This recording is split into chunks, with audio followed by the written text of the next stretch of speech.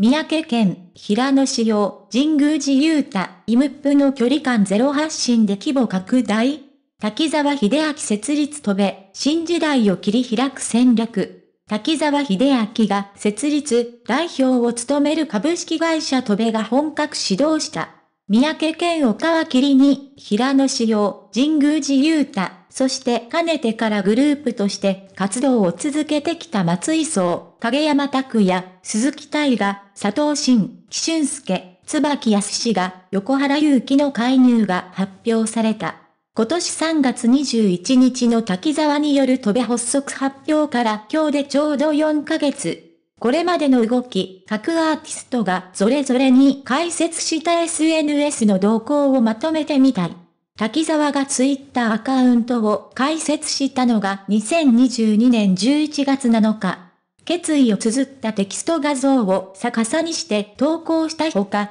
通常のツイートではなく、プロフィール欄にコメントを投稿するオリジナルスタイルでも笑いを誘うなど熱いメッセージに始まり、ユーモアを盛り込んだ投稿で大きく話題を集めた。このほかインスタグラム、TikTok アカウントを相次いで開設。Twitter のスペースをはじめ、各 SNS でライブ配信を行い、ファンやユーザーとの交流を図ってきた。滝沢は、戦術の通り今年3月21日に新会社戸部の設立をスペースにて発表。続いて所属アーティストを募集するオーディションの開催も告知した。この日は春分であり、俗に言う一流万倍日、転写日、虎の日が重なる開運日だったのもきっと偶然ではないはず。続く4月には、戸部公式 YouTube にてオーディション動画、トレニューストー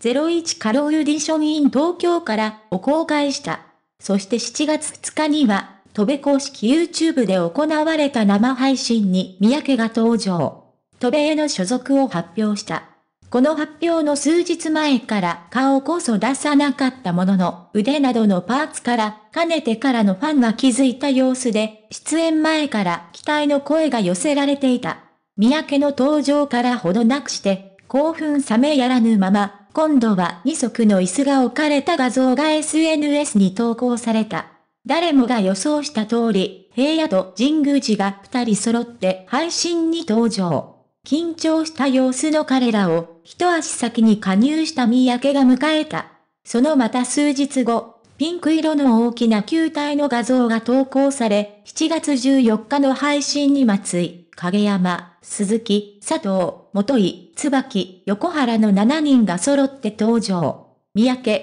平野、神宮寺が彼らを迎え、新たにイムプオとして指導することを発表した。戸部所属アーティスト、楽曲リリースやライブ開催への期待戸部所属メンバーは SNS の積極的展開を行っているのも特徴で、三宅、平野、神宮寺はそれぞれ単独でインスタグラムを開設。イムプロモグループのアカウントを設け、YouTube の生配信後には、動線を引くようにそれぞれがインスタライブを行っていた。SNS をフル活用してファンとの接点を持っているのが戸部所属アーティストの特徴でもあり、空白だった三宅のインスタグラムのプロフィール欄にも、44歳職業アイドルと記し、スマイルマークと共に再始動。平野と神宮寺はそれぞれ個人アカウントを取得し、フォロワーから寄せられた質問に答えるなど、これまでにない距離感と人柄が伝わる投稿で注目を集めている。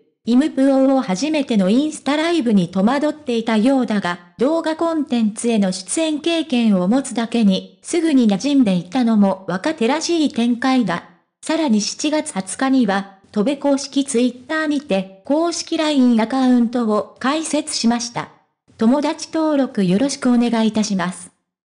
と LINE アカウントの開設を発表。LINE 社は音楽配信サービスを有しており、今後の彼らの活動の一環として活用していくことも予想される。さて、7月15日放送の音楽の日 2023TBSK ではスペシャルダンス企画、エンタメ界からダンスのギフトと題して、事務所の垣根を超えて総勢90人によるダンスパフォーマンスのコラボレーションが行われ大きく話題を集めた。ストキングズ、ドパムップ、三代目 j ソウルブラザーズ、ジャネレーションズ、ジョーイチ、イニー、B、ファースト、トラビスジャパン、ティーム、ゴーヒロミ、サイキックフィーバー、DX、DEEN、マザルと、経歴もコンセプトも様々な個性に溢れるグループが顔を揃えた。人の数だけ、グループの数だけ、ダンスがある、というほどの圧巻のステージ。まさに群雄割拠という時代の象徴的な企画であった。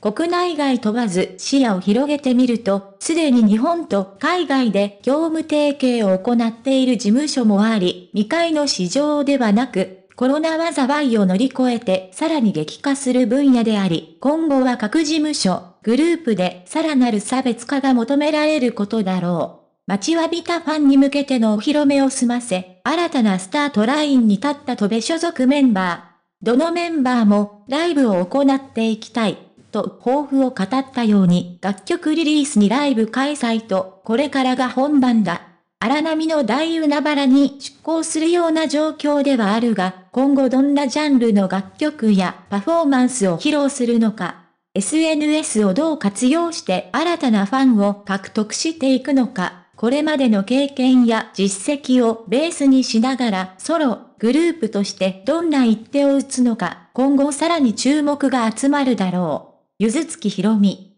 大変お世話になりました。最新の情報をスムーズに受け取るために、ぜひチャンネル登録をお願いします。心から感謝しています。ありがとうございました。